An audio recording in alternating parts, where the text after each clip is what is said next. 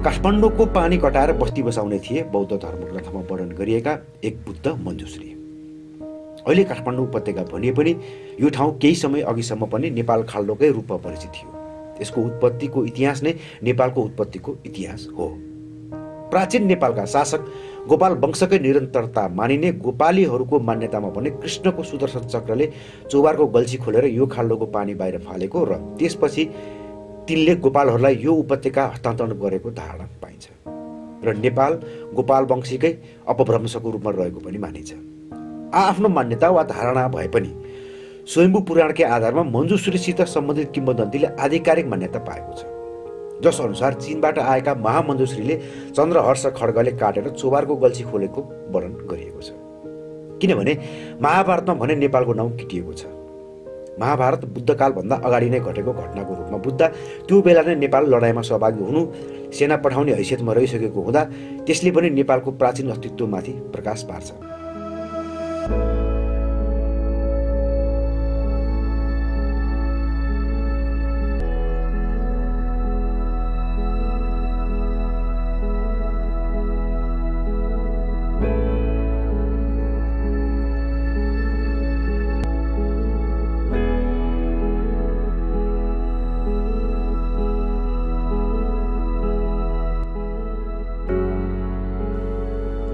उपत्यकाको क्षेत्रफल लगभग पाँच सय पचास वर्ग किमी छ। स्वयम्भू डाँडा टापु चाहिँ देखेको हुँदा त्यहाँ निकी पानी थियो भन्ने बुझ्न सकिन्छ। मजुश्री र कृष्णको चक्रको चर्चा प्रचलनमा रहे पनि उपत्यकाको वास्तविकताको तथ्य अझै स्पष्ट छैन। तर मञ्जुश्रीको सम्मानमा चौबारमा उनको मूर्ति स्थापनाको पहल भने थालिएको छ। चौबार स्थित जलविनायक मन्दिर परिसरमै मञ्जुश्रीको मूर्ति स्थापना गर्न लागि छ। यो मूर्तिले उपत्यकाको अस्तित्वसँग जोडिएको एउटा किम्बदन्तीलाई उजागर गर्छ र जीवन्त राख्छ। हुन त मञ्जुश्री एक समयका बुद्ध भएका कारण उनको अस्तित्व कति हजार वर्ष अघि थियो भन्ने प्रश्न नउठेको होइन। किनभने गौतम बुद्धको अस्तित्व पच्चिस सय वर्ष अघिको हो र बौद्ध ग्रन्थहरू त्योभन्दा पछिका। यसलाई आधार मान्दा र वैज्ञानिक परीक्षण गर्दा मञ्जुश्रीको अस्तित्वको वर्ष वर्ष गणना र महाभारतकालीन घटनाको गणना गर्दा पनि मिल्दैन। वास्तविकता के हो अझै थाहा छैन। मन्जुश्रीले उहिले जमानामा झन्डै सात हजार पुरानो भइसक्यो अरे यो मन्दिर चाहिँ। यो भगवान् चाहिँ मन्दिर त मल्लकालीनमा बनाएको यो मन्दिर चाहिँ। हजुर अनि यो चाहिँ नि मन्दिर चाहिँ त्यतिखेर भगवान् चाहिँ नि अब धेरै यो नेपाल बन्न अगाडि भनौँ न यहाँ खाल्टो हुँदाखेरिको भनौँ न त्यतिखेरको भगवान् यहाँ। अनि यहाँ मन्जुश्री आएर लासाबाट मन्जुश्री आउनु भएर यहाँ काटेर अनि यहाँको सबभन्दा विशेषता यो बिनाको विशेषता के भने जलमा हुनुहुन्छ गणेश भगवान्। जल त्यही भएर जल विनायक भएको। यहाँ कुन्दै छ एउटा सानो कुन्दै छ यहाँ। सानो भन्ने कि अब ठुलो भन्ने कि? यो गणेश भगवान् चाहिँ नि एक दिन घुम्न आउनु भयो अरे यहाँ। अनि घुम्दा घुम्दै अब ठक्कै लाग्यो होला भगवान्लाई पनि होइन? अनि यहाँ बिसाएको अरे क्या अनि बिसाउँदाखेरि अनि त्यहीँ प्रकट भएको। पुरातत्व विभाग विभागले थप्पै यस्तो भएको अब यहाँसम्म भर् भर्काइसक्यो यो त तिन तला मन्दिर नै यो त। अँ तिन तला थियो यो। अँ अनि भट्काउँदै फर्काउँदै आएर यहाँसम्म पुग्यो होइन? यो भट्काउनलाई अब अब जस्तो भनौँ न इन्जिनियर यहाँको माटो जचाउनु पर्छ अरे।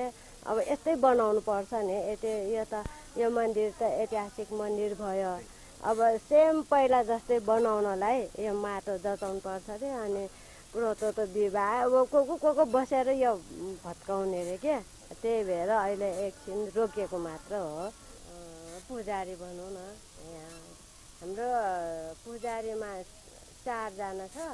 चारमध्ये पालोसित आउँछ। हाम्रो पालो चाहिँ नि अहिले भइरहेछ जस्तो जेठ एक गतेदेखि वैशाखसम्म हाम्रो पालो हुन्छ। बलियो होस् योभन्दा होइन अब यो त धेरै पुरानो मन्दिर त्योभन्दा नि अलिक बलियो होस् त्यही कामना जापानी सहयोगमा गरिएको भूगर्भ अध्ययनले उपत्यकाको पानी एकैपल्ट बाहिर निस्केको नभई पटक पटक गरी निस्केको हुनुपर्ने अनुमान गरेको छ। यस्तो प्रक्रिया सही हो भने कम्तीमा पनि एक लाख वर्ष अगाडिदेखि नै पानी बाहिर जाने क्रम सुरु भएको हुनसक्छ भूगर्भविदहरूको बुझाइअनुसार यदि सम्पूर्ण उपत्यका नै पानी मुनि रहेको हो भने त्यो तिस हजार वर्षभन्दा अगाडि हुनुपर्छ। थिमी र यलको भुवनोट पच्चिस हजार र अठार हजार वर्ष अगाडि नै पानीभन्दा माथि आइसकेको क्षेत्र थियो भन्ने दावी गरिन्छ। अरू क्षेत्रहरू त्यस पश्चात मात्र बिस्तारै क्रमैसित पानीमाथि आएको भन्ने बुझिन्छ। बुढालीकण्ठ क्षेत्रमा गरेको उत्खननमा तिस हजार वर्ष अगाडिको प्राग मानव हात हतियार भेटिनु तथा त्यहाँ बस्ती बसेका ठाउँहरू पनि दसौँ हजार वर्ष अगाडि नै अवादयोग्य भइसकेको तथ्य उजागर हुनु अर्को एउटा सनसनीपूर्ण खोज हो। अध्ययनले के कुरा उजागर गरेको छ भने प्राचीन नेवार बस्तीहरू निकै योजनाका साथ बनाइएको छ जस्तो कि पच्चिस हजार वर्ष अगाडि पानीभन्दा माथि आएको थिमीको नेवार बस्तीमा जुन नाप नक्सा डिजाइन र दर्शन पछ्याएर बाटो चोक मन्दिर इनार ढल आदि संरचना बनाइएको छ ठिक त्यही डिजाइनको बस्ती अठार हजार वर्ष अगाडि पानीभन्दा माथि आएको पाटनमा देखिन्छ। यसबाट बुझिन्छ कि हजारौँ वर्ष लगाएर थिमी क्षेत्रमा विकास भएको वास्तुकलाको सिप पाटन इलाका बस्ती बस्नु योग्य भएपछि त्यहाँ प्रयोग गरिएको छ। एवं रीतले पछि हिए तथा खोप इलाका बस्तीयोग्य भएपछि त्यता पनि प्रयोग भयो र व्यवस्थित सभ्यताको श्रृङ्खला नै सुरु भयो। तथ्यहरू जे जस्ता भए पनि मन्जुश्रीले चोबारको पानी काटेर बस्ती बसालेको कथन नै बढी प्रचलित छ। वैज्ञानिक अध्ययनहरू मात्रै आधिकारिक हुन् भनेर भन्न र मान्न सकिन्न। यस्तोमा मन्जुश्रीको मूर्ति स्थापना उनले पानी काटेर पठाएको क्षेत्रमै बन्नु पौराणिकताको एउटा जीवन्त कथालाई आत्मसात गर्नु हो। यसले उपत्यकाको पौराणिकताको एउटा पाटोको संरक्षण गर्दछ र आन्तरिक तथा बाह्य पर्यटनलाई प्रवर्धन गर्दछ।